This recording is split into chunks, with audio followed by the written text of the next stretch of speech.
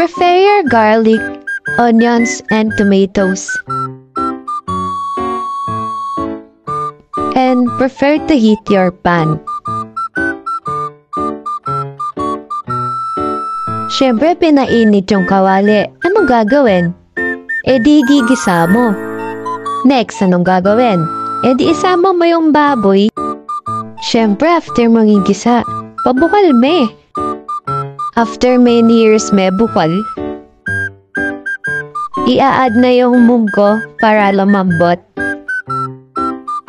Add water galing sa bundok arayat. After bigyan ng tubig, syempre ilalagay yung sotampon noodles. Brown rice with bangus, yammers. Imekos-mekos para hindi madulok. After mong imekos, syempre magpe-prefer ka na para kumain.